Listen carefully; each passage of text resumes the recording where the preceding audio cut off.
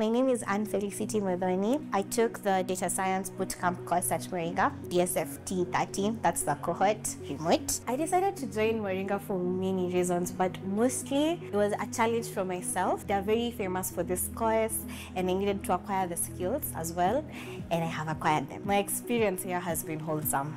I came in for the technical aspect and the vibes, but also I ended up learning so much more than just the technical side of data science, not just machine learning. I ended up learning leadership skills, you learn hard work and passion as well. The teacher with so much passion, by the way. I learned to socialize, also to network with my classmates, had an amazing class. If I had to pick just one thing, which is kind of unfair because I learned a lot, definitely the can do spirit. I learned leadership skills, I learned to navigate uh, kind of like the job market. Most of all, that you don't have to be so serious all the time.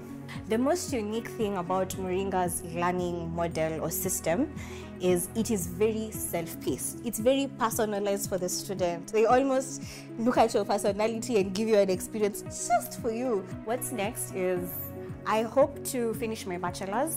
I'm going to go in and become a techpreneur, probably landing Netflix as a data scientist. I'm just putting it out there. Do projects that impact the society.